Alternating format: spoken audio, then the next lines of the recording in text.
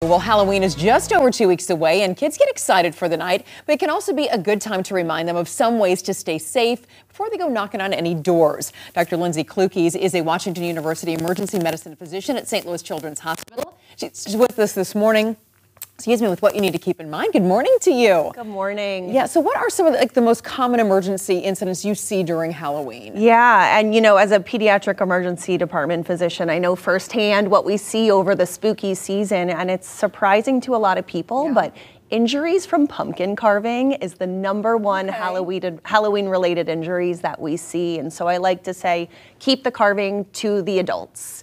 Younger children really shouldn't be carving pumpkins.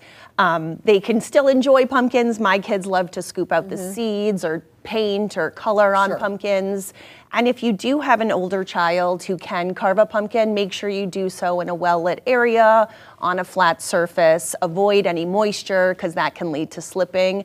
And make sure you use a small serrated pumpkin carving knife.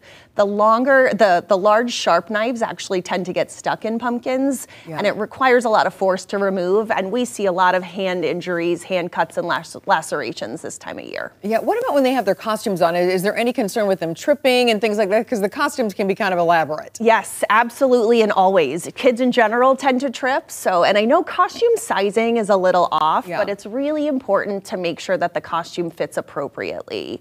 Avoid baggy, loose costumes, mm-hmm. those with parts that are hanging off of it, right. because kids fall, and we tend to see injuries related to falls, um, specifically fractures of the arms and the wrists. Yeah, and some of the costumes they can't see because of the mask and all that yeah, stuff. we so actually going on. We have, we recommend avoiding masks, and. I know kids love masks, but it's for two reasons. First, like you said, they obstruct the view. Mm-hmm. That can lead to obviously a trip hazard.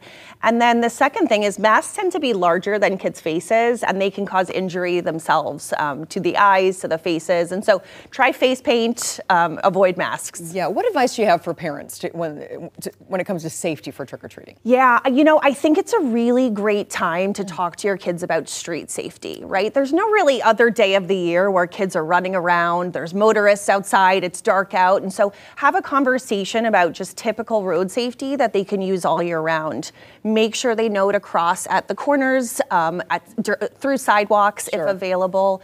And I like to teach them to always make eye contact with motorists mm-hmm. before crossing the street, just to ensure that they're on the same page. And then, of course, leave the electronics down. Put them down for both the trick or treaters and the motorists. Yeah, absolutely. Some good advice for us this morning. Dr. Lindsay Clukies, thank you so much. We appreciate thank your time. Thank you.